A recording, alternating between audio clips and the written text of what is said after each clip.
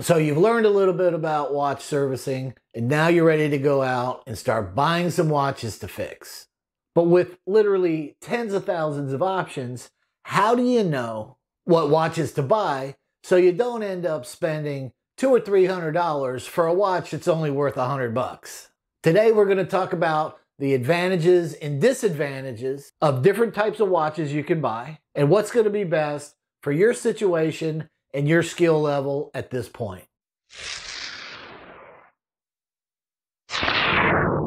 The first thing you need to think about is what's the end goal? Is your goal just to take a watch apart and be able to figure out how to put it back together? Or is your goal to actually take a watch that you can fix and make it a usable part of a new watch collection? So if the goal is only to practice on a random movement, the only thing I would suggest is to buy one that may be usable as a parts movement in the future that would be in a watch that you might want to put in your collection. Now, when we think about places to actually buy watches, eBay is going to be the first thing that comes to mind. eBay is going to give you the largest selection of watches to choose from, including Swiss, Japanese, and American brands. Sites like Chrono24 are not really a great option if you're looking for watch movements that are going to be more value based or inexpensive. And you're certainly not going to find any parts movements or practice movements there. Now, as you're searching eBay, you're going to see movements that are the movement only, sometimes with a dial. And then you're going to find watches that are complete with the movement and the case. One of the biggest mistakes that new watchmakers make is buying the movement only with the expectation that they're going to be able to find a case to put that movement in. If you don't understand that watch cases are actually designed around movements, you need to have the correct width, but even more importantly, the dimension between the top of the dial and the center of the stem has to be the same in the movement as well as the case or it's just not going to work. And with the tens of thousands of different movements available, the chances of you finding a case to fit that movement are pretty slim.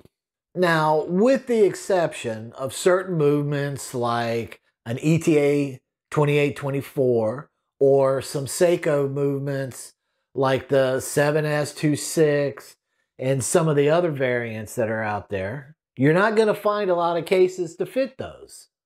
So if this is a avenue that you really want to explore, then what I would do is find an empty case first and then figure out what type of movement went in that case. And then you can search for that particular movement and you'll know that you have a case that matches up with it. When you first start buying vintage movements to repair, ideally you want to find movements that are actually working.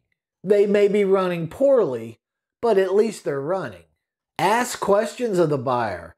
Make sure that the balance is operating and find out any other known problems it may have. The last thing you want to do is buy a watch that you have to start sourcing parts for, especially balance wheels finding a balance in hairspring combination that is in good shape and is actually going to fit into the movement you have is not as easy as it may sound.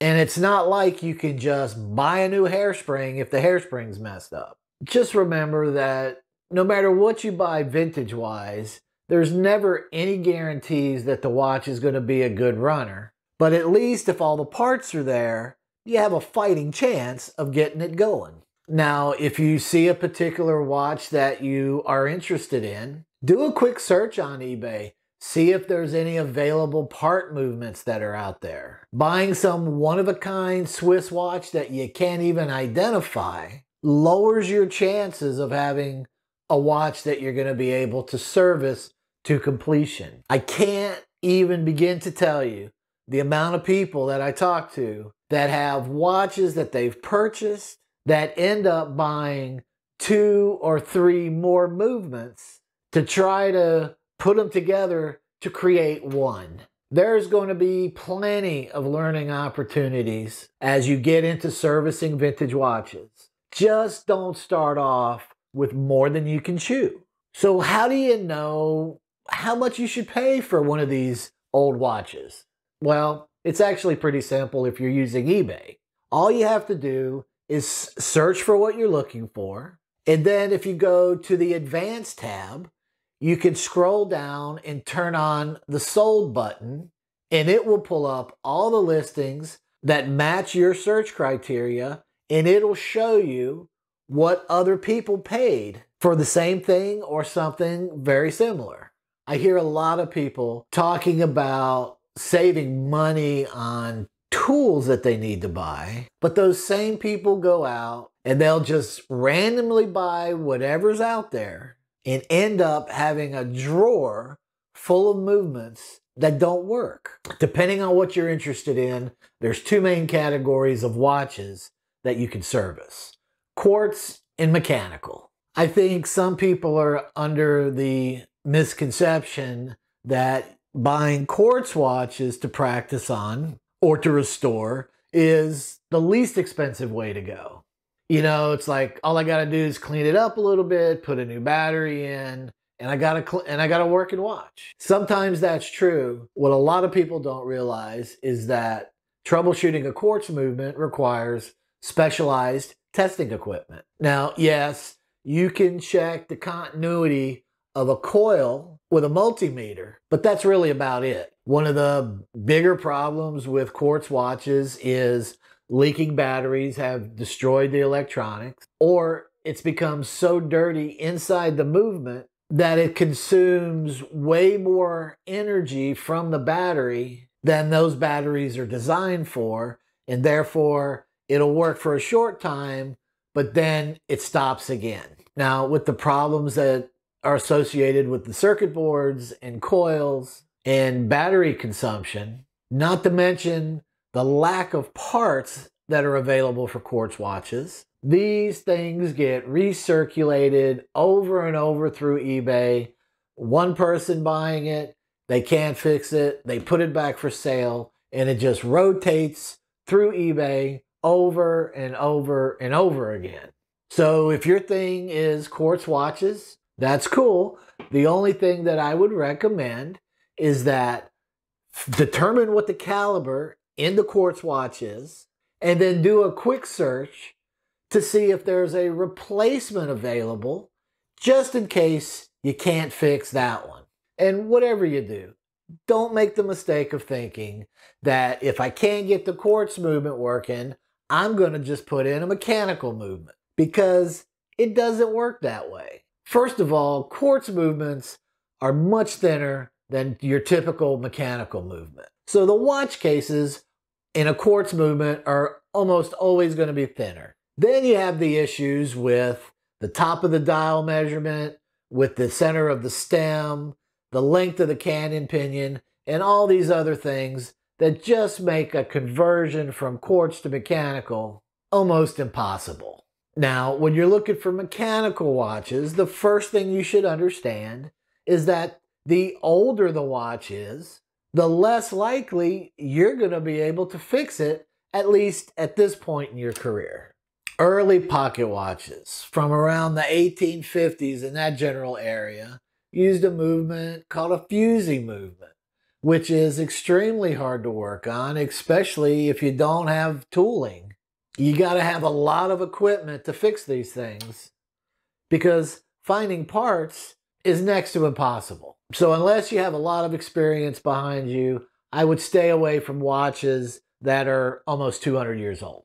Next, you have pocket watches, both Swiss and American, from the early 1900s to up until about 1940 or 1950. People tend to gravitate towards these because they're large movements, they're relatively simple in design, and if we're talking about most of the American pocket watches, they're freaking beautiful. But understand this they can be extremely challenging to work on. Now, when you look at the Swiss versus American pocket watches, they use two completely different systems for manufacturing.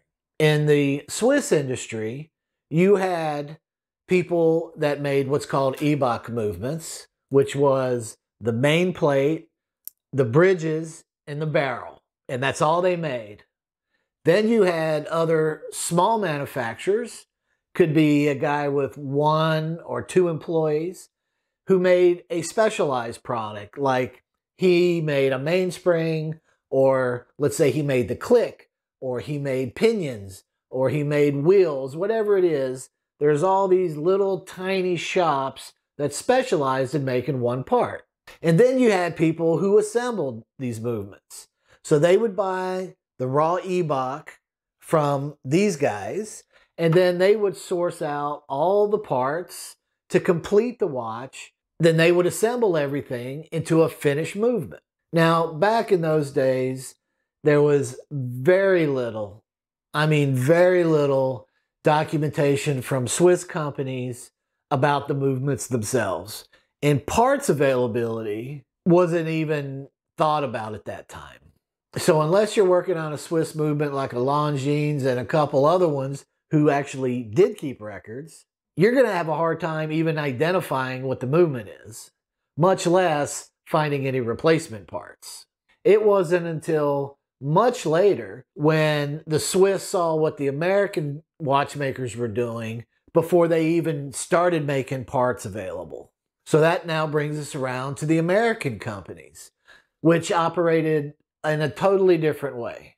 They were the first to standardize watch production by making all their parts in house, assembling all the parts in the movement in house, and actually making parts available. They used model numbers, they put serial numbers on their movements so that they could be identified by watchmakers to be able to service the watch later on. Now, that's great, but what you have to remember is that the watchmaking industry was way different back then. First of all, you didn't have a whole lot of hobbyist watchmakers out there. Even though parts were standardized, it was still expected that the watchmaker can actually fit the part to the movement. I mean, this was a great advantage because watchmakers didn't have to make it from scratch. He may just need to burnish a pivot a little bit in order for it to fit the jewel. Back in those days, parts were not really just drop in like they are today. And even though you will find some that are, if you're trying to replace parts in a balance wheel, as an example, that has a broken balance staff, there may be six or seven different part numbers that will actually fit in that same watch that have different size pivots. So you're going to need to be able to match that up to the jewel stone. So again, American pocket watches, I love them, but they're definitely challenging when you're first starting out. Now, another issue that comes up with American pocket watches specifically is you never know what the current condition of the movement is in the respect of how many people have worked on it. How many people just like you, have worked on it. You can never assume that the watch is in original condition from the perspective of the parts that are in it. A lot of times, people will throw in a balance wheel into a pocket watch just to say it has a balance wheel. It doesn't even belong in there. Seiko's a great brand if you're brand new because they have movements again like the 7S, 26, and some of the other ones that they have. There's plenty of parts movements available so that you will at least be able to fix something. There's plenty of good Swiss movements that have parts availability. You've got the entire ETA line, you've got FHF, you got AS Schild. The only thing I would recommend if you see a watch identify what kind of movement it has, and then just do a quick search to see if there's any part movements available. Now, if you want to see a video about how to source parts for these, let me know in the comments and I'll make a video about it. Now, another suggestion that I would make to you is to start off with a movement like uh, a NH36. This is a movement that you can buy relatively inexpensively, that you can make big improvements on its performance. What most people don't realize is that a movement, the NH36 is a division of Seiko, and these movements are sold basically to anybody else who wants to make a watch. When these movements come from the factory, they have minimal, if any, lubrication and no regulation to speak of. You can take one of these movements in new condition and you can take it apart, you can service it, you can relubricate it with what you've learned already, and you can have a movement that will perform outstanding. Then you can buy a case for it, and then you will have a watch that's part of your collection, that's one that you made, that will mean more to you than probably anything else you could possibly make or do in this hobby, and you will learn tons from it. The main thing you'll learn is whether or not your servicing is good enough at this point to start working on vintage watches. And basically, what I'm referring to is at this point, you should know how to clean and lubricate movements, which means that you should be able to take a watch that has no problems, that is in working order, and you should be able to completely service this movement and actually improve its performance from the point of when you received it. If you can't do that, if you can't take a new movement with no problems and service it so that it performs at least as good from the time you got it, if not even better, then you're going to have a real hard time servicing a vintage movement which has God only knows what kind of problems. So it's a it's a good way to start as you're building your skills. If it hasn't become apparent to you already, a good microscope is absolutely a game changer in watch repair. If you can't see what you're working on, then you have zero chances of fixing it. Microscopes bring a whole nother dimension into watch repair so that you can see what you're working on in a way that you could never do with a loupe. Now, microscopes can get very expensive, but they don't have to be. This particular one that I use, I do 90% of my work right under this in perfect comfort, and I can do it all day long. So if you have any interest in exploring microscopes more, especially the setup I use, then let me know in the comments and I'll be glad to make a video about it. And because there's so much more to learn, I'll see you in the next video.